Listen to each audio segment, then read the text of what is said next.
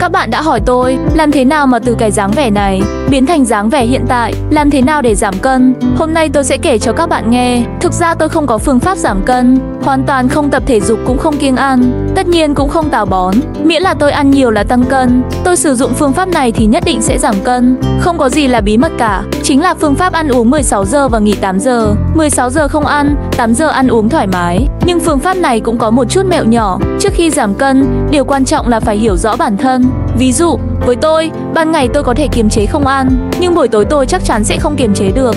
Dù tôi đã ăn no vào ban ngày nhưng tối tôi chắc chắn sẽ rất đói. Vì vậy, tôi sẽ để thời gian ăn vào buổi tối để ăn những thứ mà tôi thích. Tôi thích ăn cơm lầu, bún ốc, xiên nướng và còn cả rán và những thứ như vậy, tôi không từ chối. Đôi khi tôi còn uống một ly trà sữa chẳng hạn. Hầu hết mọi ngày, thời gian tôi ăn là vào khoảng 7 đến 8 giờ tối. Chỉ khi tôi đã ăn no, tôi mới có thể ngủ. Có lẽ tôi đã tạo thành thói quen. Buổi ban ngày, tôi thường không cảm thấy đói. Nếu bạn mới bắt đầu và khó kiên trì, giữa chừng nếu bạn cảm thấy đói quá, hãy ăn một ít thức ăn ít calo, ăn vài miếng nhỏ.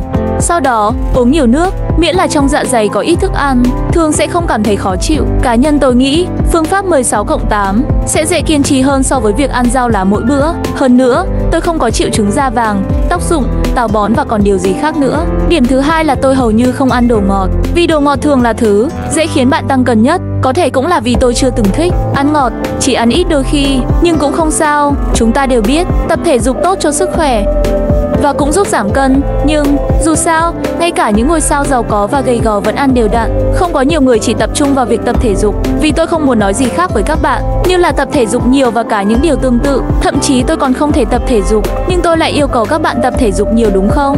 Vậy nên, đối với người bình thường như chúng ta khi giảm cân, ít ăn chắc chắn hiệu quả hơn việc tập thể dục.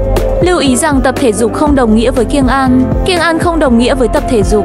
Đừng cố vừa ăn kiêng vừa tập thể dục, vậy nên đừng hủy hoại sức khỏe của bản thân chỉ để giảm cân. Đã đủ đẹp khi cơ thể cân đối, không cần phải cố gắng quá để thực sự mảnh mai. Điểm thứ ba là mặc quần áo ôm sát cơ thể, thường xuyên tránh mặc những bộ quần áo quá rộng. Khi bạn mặc quần áo ôm sát, bạn sẽ luôn thấy sự thay đổi của cơ thể. Điều này có thể thúc đẩy động lực cho bạn, tạo cho mình một sự bất ngờ so với việc mặc quần áo rộng thùng thình hàng ngày. Ngay cả khi có bụng, bạn cũng không cảm nhận được. Nếu bạn mặc váy một ngày nào đó, bạn sẽ thấy rằng tại sao nó không còn vừa vặn nữa thì bạn đã tăng cân nhiều rồi. Điểm thứ tư, đi vệ sinh định kỳ. Cá nhân tôi thường có một thời gian cố định hàng ngày để đi vệ sinh. Nếu không, bụng sẽ phồng lên rất nhiều. Những thứ rác rưởi không thể bị đẩy ra sẽ khiến cơ thể tiếp tục hấp thụ, khiến bạn trở nên béo hơn. Nếu bạn bạn bị táo bón, có thể vì bạn đang kiêng ăn. Thực sự kiêng ăn và không ăn tinh bột có thể gây táo bón.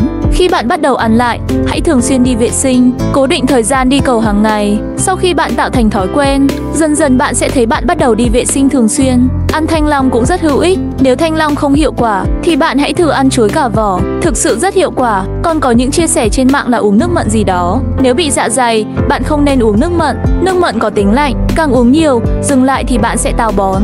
Dạ dày của bạn sẽ bị ảnh hưởng và không tốt, không nên uống. Và về cơ bản là như vậy. Tất nhiên, nếu bạn có đủ kiên nhẫn để tập thể dục mỗi ngày, ít ăn và ăn những thực phẩm lành mạnh thì bạn có thể bỏ qua những gì tôi vừa nói. Chỉ là tôi không thể kiên trì là thôi.